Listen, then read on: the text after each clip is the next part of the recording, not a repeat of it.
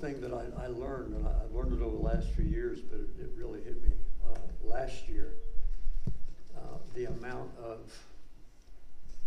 um, information just scripturally uh, involved in the Christmas story that one really needs to start right after July the 4th or no later than Labor Day to get into the Christmas story to begin to grasp all of it.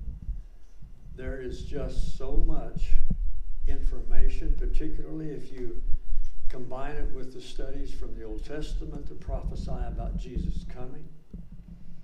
And then if you put with it over the history of the church, the things that, that have happened that are about celebrating Jesus' birth. Uh, then if you get into the Christmas carols and start looking into to how they came into existence and who wrote them and the words, all of them, it uh, it's hard, you know. And, and uh, my wife never let me turn on the Christmas lights before Thanksgiving was over. You know, Thanksgiving night was when I could turn on all the lights outside. I'd have them all set up, but she said, We're not going to rush Thanksgiving. And I always said, Well, the thing to be most thankful for is Christmas. But that didn't matter. We didn't turn them on until, so I, I obeyed her even, even though she's in heaven now. I had them don't put up much anymore, just the nativity set, but I didn't turn it on until Thanksgiving evening. Uh, but yeah, there is so much to, but even if you just study the scriptures in Matthew and Mark and put that all together, there is so much information about what we call the Christmas story. And of course, there has been that debate in in some recent history about you know the celebration of Christmas and and uh, one of the things that, that that as I studied and Michelle helped me do this, my daughter was to understand its origin and, and, and how it came about and the, and the very word Christ Christmas is really Christ Mass and Mass is celebration so Christmas is the celebration of Christ. So that that makes you know that makes sense. Well, yeah, let's celebrate Jesus. And then there are so many historical things, and I won't get into that.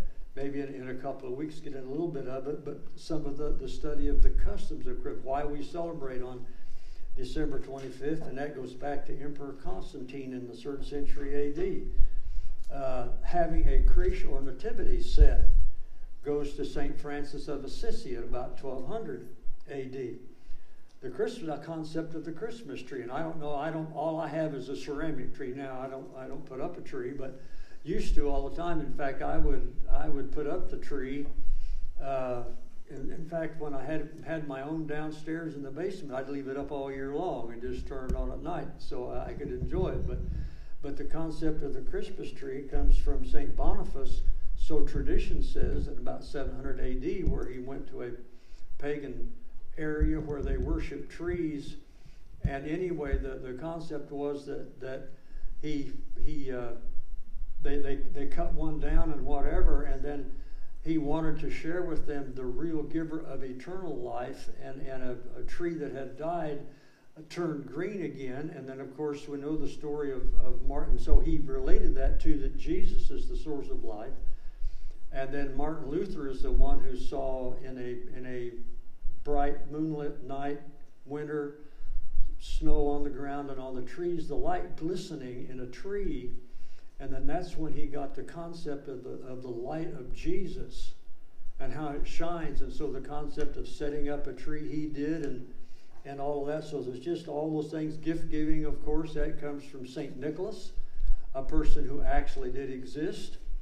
Um, uh, wasn't known as Santa Claus, but as Saint Nicholas, which was where the concept come from, who actually saw a, a man with three daughters and they were very poor and didn't have a dowry, so he, uh, without letting anyone know, contributed to the dowry. And then tradition says that one of the things, one of the financial gifts he did in secret, putting it in through the window, fell into a sock that was hung up to dry, and so the concept of putting up. So there's just all kinds of things about the Christmas story um, that fit in, and then of course Christmas carols and going caroling and all that. So Christmas, if you're going to take in all of it, or even start trying to do it, takes so much time, and so that's why uh, uh, I start my Christmas study fairly early. uh, to try and get into the idea behind what this is because it's all about and, and then there's a I don't know how you've ever seen the, the movie Christmas with a capital C, which is based on a on, on a song by Go Fish and carries with it the idea of the modern culture where we instead of saying Merry Christmas because we don't want to offend anybody, we say Happy Holidays. And so you can't have a happier reason for a holiday than Jesus coming and be born. And so that's, uh, but anyway, if you've never seen that it, or heard that song, it's a very interesting thing. And, and the movie was made on it, Christmas with a capital C, uh, about celebrating celebrating Jesus. That's the reason we, we do it, is because of Christ. And so there's all that, that uh, fantastic, uh, beautiful things about Christmas. And sometimes it gets overwhelmed by the, the buying and shopping and, and just the hassle and all that kind of stuff and takes away from the fact that we're celebrating Jesus coming to earth and who he was and what he what he was going to do through a, a virgin named Mary. So I want to look at, at, just a little bit of that and kind of get started this morning and then bring it to our celebration of the communion service because the end result of what Jesus coming to do, we celebrate when we take communion together and take a, a, a simple uh, cracker and juice or, or whatever, a symbol of what Jesus did when he came and, and why he came. So I titled the, the, the, sermon, by the way, Have Yourself a Merry, Humble Christmas. And if you notice, it's M A R Y. And by the way, the, uh, there's a, a, rock and roller from time past, Marilyn McCoo, who was uh, part of the, the Motown and all that kind of stuff. And she does a, a thing of, of this song. I have a CD, and, and it's mostly Christian carols, Christmas carols, but she also does Have Yourself a Merry Little Christmas, if you know the song. And then, But I like what she does, and she's the only one I've ever heard do this. When, when she comes to the part, We will be together if fate allows, and she says, If the Lord allows when she sings it. It just brings a whole new connotation to the song. So that's kind of where the title comes from, but it's Mary because I want to end up with a little bit about Mary and why she is so important. And some some religious things have made her maybe too important, but I like what Jack Hayford has, has said. I've got a couple of books that he wrote about Christmas. One is The Mary Miracle. That sometimes Protestants take it too little because she is going to be, as we see, the pattern and example of having new birth born in our lives. She is the example that is set, and yet we're going to look at the reason I say humble because we're going to look at what she said, and then and after we look at what Jesus did, so he can come to be born, which we have a symbol of here, in this measure, in this in the, in, in the manger. So let's look at that. We'll put up the first scripture. In the beginning was the Word, and the Word was with God, and the Word was God. He was in the beginning with God. All things are made through him, and without him was not anything made that was made. In him was life, and the life was the light of all men. And we won't get into the real long theological stuff behind that about what that word logos means, because that's the word that is, is translated word. But it was, it was the energy or the thing behind everything that exists. And so the Christmas story is simply about, about, and then we'll go to the next one, how the Word became flesh. So you got to take an understanding that first four verses that says Jesus is responsible for everything that exists. Colossians, the second chapter, says the same thing, and He is the power that holds everything together. And then in, in Hebrews, the first couple of verses, He is the, the power of the Word that makes things exist. It's His power and energy that does that. And then it says, and I just want to relay here quickly, I don't want to get too wrapped up in it, but you've heard me talk about uh, Canis Majoris. Uh, and if you, if you know about that, it's the biggest star that they had found. And by the way, if you Google now, they have found a bigger star than Canis Majoris. Uh, but anyway, just so I want to, un- to understand who this Jesus is and what it means that he became flesh is he is the one that brought everything into existence. We saw that. And by the way, our little pipsqueak sun, which will burn us We don't get enough of it in the winter, at least I don't. Uh, it will burn us in the summer. Is 93, you can, you can put 933 million Earths inside of our sun. That's how big it is in relationship to our Earth. Okay? And, and I'll relate that the way Louis Giglio does. If the Earth were a golf ball, then you could put 930 million Earths or golf balls inside of it, and that's enough golf balls to fill a large school bus completely full. That's how big our sun is. And our sun is nothing compared to this star Canis Majoris. Canis Majoris is so big that if the Earth were a golf ball, you could put seven quadrillion Earths inside of Canis Majoris. That's enough golf balls to cover the state of Texas 22 inches deep in golf balls, golf balls to get seven quadrillion golf balls. And now they know that Canis Majoris is not the biggest star there is. They found a bigger one. Jesus, as the Word, the Logos, is responsible for breathing Canis Majoris and millions and billions of stars in billions of galaxies that we look at, at and see, and now we've got new telescopes out there doing it. This is that word that became flesh and dwelt among us. How did he become flesh? He didn't come and with some great arrival somewhere and in some great grand display. He came as a baby spawned by the Holy Spirit in maybe in, in Mary's womb. So I want to look at just a little bit about how this happened for this creator of everything that exists, creative agent of Father God, the Son, and the Holy Spirit, who brought everything into existence. How in the world, in all infinity, did he become a baby that needed to be nursed? Diapers changed, needed, needed to be taught, needed to, to help someone help him to get started to walk. How did that happen? And why did it happen? Why was that necessary? So he's the creative word of everything, everything that exists. How did he become flesh? Let's go to Philippians, the second chapter.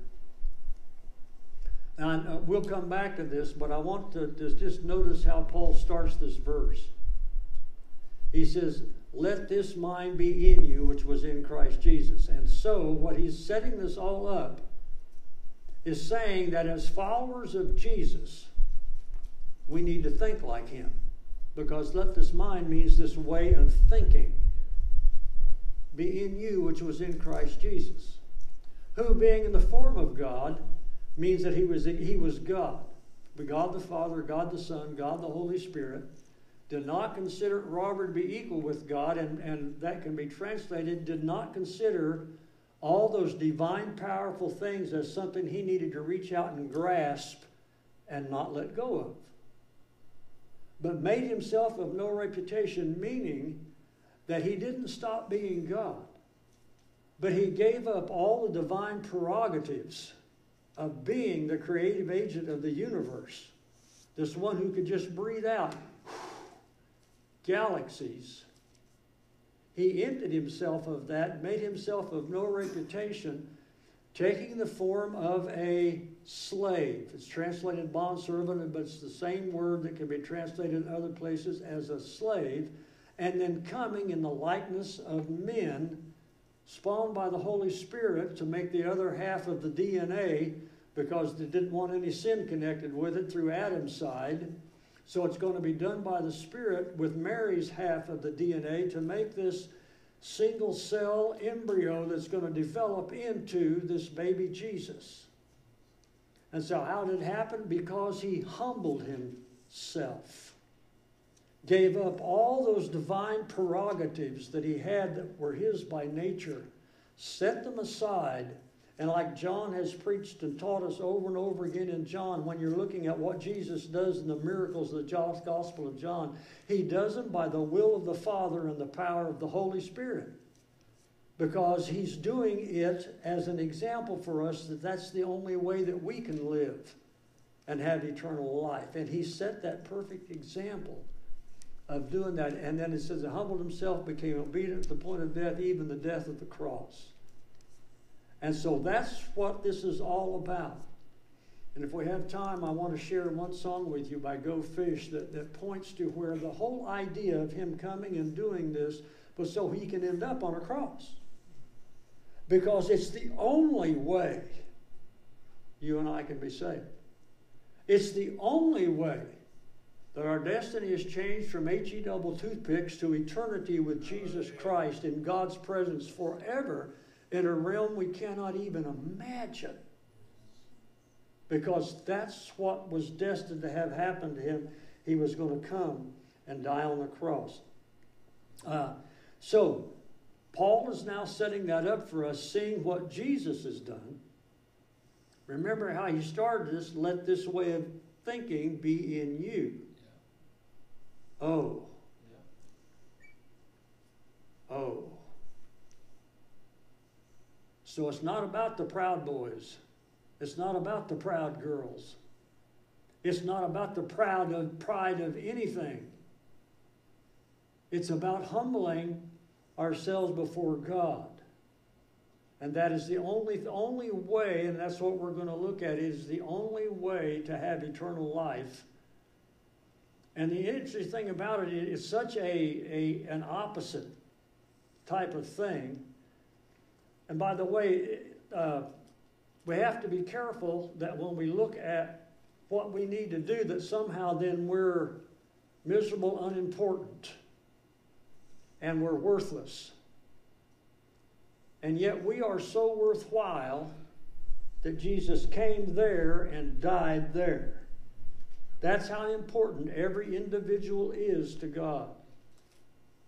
He loved the whole world Every ended, but on the other hand, you can't go the other side. Well, I'm just going to be what I'm going to be because that's what God has made me. No, unless you know Jesus Christ as your Savior, we are not being what God intended us to be because He has new life for us. And just like new life was born into Mary, we are born again when we humble ourselves before God and say, God, be merciful to me, a sinner. I cannot save myself.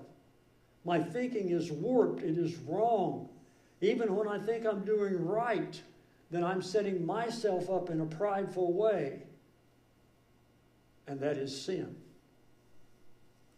And that's where sin started, by the way, and came from the concept of pride, of what I can be and what I'm going to be. And it led to sin. And that's in all of us by nature as children of Adam and Eve. So he humbled himself and became obedient point death, even the death of the cross. And by the way, that scripture has gone and said, and because of this, God has highly exalted him. You want to be exalted? Humble yourself and become a servant. And by the way, that is going to be true, and we're going to look at Mary here next. But I just want to share something that it, how it relates to everyday life. Uh, we are soon going to be coming up on the anniversary of of the what caused us to be in the entry of, of World War II. It, it's just a few days away. Um, and then after the struggle of that and, and then getting and being in, in league with, with other nations who were fighting that type of, of tyranny that war had been declared on, that eventually, three and a half years later, a general is going to set up a plan along with all of his advisors and whatever to plan the invasion of Normandy and Europe to begin to push the tide of evil, evil back. And that general was Dwight Eisenhower. And one of the most important things that I think I've ever learned about him was that when that was all set up, before they ever made the landings on June 6, 1944, was he wrote a speech that was to be given to everybody, to all over the world at that time, that if it failed, and there was a good possibility that it would. And if you read some of that, you'll know that some of those advanced and some of those troops, the first ones that went ashore, nearly the whole entire group was, was basically wiped out. And yet it was successful. But Eisenhower wrote a speech that if it didn't work and they had to withdraw, he wrote a speech and said, The entire blame is mine. I'm the one to blame. Not anybody else, because he knew he was a servant. And by the way, military, and thanks to all the veterans that have served, the military only works to the idea of servanthood people obeying orders. And what Eisenhower knew and others know, of course, it's done by those common soldiers, privates, sergeants, and all the rest of them who follow the orders. And so the example is set for us, but our human nature, we don't see that so easily. We always want to get to where somehow it's about me. And that's where being a servant is what brings us to what I was going to finish up with. Once we give ourselves to servanthood like Jesus did, and it goes on to say, and God exalted him and gave him a name that is above every name, that at the name of Jesus every knee would bow. And not that that's what we want, that sometimes somebody's going to bow for us, but no, our concept is if we are servants, they will bow before Jesus because we have shared the word of truth and life, and they understand it like we understand, hopefully, and live that out in our life. We never stop being servants. You know, John says of Jesus, Behold the Lamb of God, which takes away the sin of the world. Isn't it interesting? That the conqueror, the King of kings and Lord of lords, is a lamb. And then it goes on to say, as Hayford pointed out in a book I'm reading, that it, he talks about his flock. And, and, and you, how he's the shepherd of the flock. Well, guess what? That means we're all sheep. Oh, wait a minute. I want to be a warrior. I want to be, you know, I, I don't want to, you know, I grew up raising sheep. And believe me, I understand the concept of that, what that means. They're not necessarily the smartest animal that ever lived. Uh, we have to protect them when they're if they're not shorn. You have to protect them. They don't get in water and drown themselves. If they haven't been shorn and they're still wearing the heavy wool. But at any rate, the concept there is we never stop being sheep. We're His sheep because He never stops being the Lamb of God. You can read the book of Revelation, and it keeps, keeps repeating that title of Him. And yes, He is still King of Kings, and he comes on a white horse and all that kind of stuff. But he's still the Lamb of God, and we are still his flock. And we're also his children. We never stop being children because Jesus said when he points to a child, of such is the kingdom of heaven. Because we're always in the learning, maturing process of following Jesus. There's always the next day. There's always the next scripture that will be illuminated to us there's always the next responsibility that He will bring to us as His servants to share the gospel or to experience what God has for us. So it's just interesting how all this fits in. So now let's go to the next scripture. And you get into the Gospel of Luke and, and read the whole story about this girl named Mary, uh, probably of a poor family uh, growing up, learning the customs of what it means to be a Jewish girl. And then an angel comes and, and visits her, and his name is Gabriel. And he tells her what she has been chosen for. And, uh, you know, she just, she is in shock and awe. And by the way, every time an angel comes, they normally have to tell each one of us, don't be afraid because we're not normally in, in accustomed to seeing angels. Uh, I haven't seen one, but I, I can only imagine in my own sinful, selfish humanity what it would be like to, to have an angel show up. But Mary did that, and anyway told her what was going to happen, and, and and she says, "Well, I'm not married yet." And Jesus and the angel says, "Don't worry about that. What's going to happen to you is going to come from God." And by the way, that is what the Mary miracle, the Hayford points out, is our salvation does not come by us, but it comes to us by the Holy Spirit. And the very same Holy Spirit that's going to cause this conception in her is what brings us new life. It doesn't come for us, but it comes to us to grow inside of us and be experienced. And anyway, Mary's response is, and this is carrying on this concept of, of Mary and the hum, humility.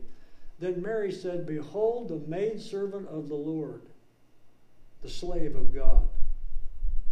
Let it be done, let it be done to me according to your word. And maybe in, in a couple of weeks, I'll bring out something Pastor David shared with us quite a few years ago about that process that Mary has. There's about six things in that section of, of, the Gospel of Luke that shows about Mary, but the most important one was she says, Behold, here I am, I'm yours. I belong to you. It's all going to be done by your power. And I'm going to, I'm going to give myself to that, give myself to that, to you. And so that's what happens to her. She's a slave. Confession, let it be done to me according to your word. Now, what does that mean for us? And I want to put up the next scripture, and then we'll get ready to start getting ready for communion. This, before that section of scripture in, in chapter 2, where it talks about how Jesus emptied himself, he addresses the church at Philippi, so he can be addressing us, followers of Christ, if we've accepted Jesus as our Savior. And this is where humility comes into shoe leather in everyday practice. That's what Paul says, with Jesus and Mary as our example. And this is what he tells them let nothing be done through selfish ambition or conceit. In other words, it's not about me. But in lowliness of mind, let each esteem others better than him or herself. Is that easy to do? Not at all. Because we have a tendency to compare other people to ourselves. But at any rate, esteem others better than himself. Let each of you look out not only for his own interests. Yes, I've got things I've got to take care of just to live here on planet Earth. Right now, taking care of the kids. Some of you are doing that, or grandkids, or whatever. But also for the interest of others. It's always about, and I like the way Linda used to teach it about joy Jesus and others in you. What a wonderful way to spell joy. And that always works for our entire life, it never changes. So now I want to go to uh, Corinthians and look at this. And let me just explain this before we listen. I want to share one more song with you, then we'll do communion. But this is in Corinthians, 1 Corinthians 11, where the whole concept of, of our taking communion comes from and what it means and, and why we do it and how we're supposed to do it, but uh, what our mindset is supposed to be when we do it. And what the Corinthian people were doing, they were they had been divided by classes, rich, poor, male, female, slaves, free, whatever. It was just all over in the city of Corinth. And as Pastor John had taught us when he taught Corinthians, uh, and I never forget, Linda wrote a paper on it when she was in, in Bible college, and I still have it. But to be called a Corinthian meant that you were open to Las Vegas, anything in it that's bad times a million. That was what it meant to be a Corinthian. And so people were being saved out of this lifestyle coming into the church, but they were bringing some of the baggage with them as they came instead of leaving it behind. And you will find that, that the, the the rich did not want to have communion with the poor because back then they would celebrate an entire dinner together. Well, the rich would bring all the wealthy stuff that they had, but the poor might bring a pot of beans. That's all they had, or rice. And so they didn't want to, they didn't want to have them having the filet mignon when all they could bring was rice. And I'm, I'm exaggerating, but that's basically what, what it was all about. And then they were coming and trying to celebrate Jesus emptied himself to die on a cross with that attitude towards each other. And so that's why Paul writes this. And that goes back to that, you know, esteem others better than yourselves and all that kind of stuff. It doesn't mean that we're not going to stand for righteousness because we need to. But we need to understand that the only reason maybe we are in the place where we are and the other people haven't made it yet is because of God's grace working in us, not of us. And that same grace is open to them, and maybe they just need our help, understanding, and prayer to come past that. But it can't happen if we have this division and this, this way of dividing. So, anyway, that's what set this up. And so Paul says, let a person examine themselves and do all that. And by the way, that doesn't mean that somehow we do enough good stuff that we're worthy to take communion. The only reason we're worthy to take communion is because of God's grace through him, his son Jesus Christ. But it means we need to examine and see if our attitudes are right and say, okay, you know, before we take communion, get that out of me, Father. I just give it to you. I want this to be a celebration. All of us together who know Jesus, to be a celebration, an act of worship, an act of caring, an act of prayer and an act of fellowship, which is what communion means. The idea of being together because we're one in the body of Christ. And so that brings up this thing. Then Paul says, For if we judge ourselves, we will not be judged, but when we are judged, we're chastened by the Lord, we may not be condemned in the world. That's why God sometimes has to smack us on the back of the head and say, Wake up! My grace and my love is a whole lot bigger than you're letting it be because of your attitude. And then I like what it, says in, one of the notes that when you come to communion, the communion table, you come with humility because I cannot buy my salvation or earn it. Even after I accept Jesus as my Savior, it is an act of grace my entire life till I go be with Him. It's confession. God, be merciful to me, a sinner. Forgive me for having a selfish attitude or whatever. And worship. And then we are strengthened in Him. And that's the whole idea of communion and fellowship is to be strengthened together in Christ. So that we can live out being the body of Christ in unity, sharing the standing for what is right, yes. Vocalizing what is right, yes but doing it in love, knowing the only thing that separates us from a person who may be the most horrendous person in the whole world is the grace and love of God. We are lost without that. And so that's what the communion table is supposed to be. JC, if you, I, am going to close with that. If you have not accepted Jesus, do that as Lord and Savior.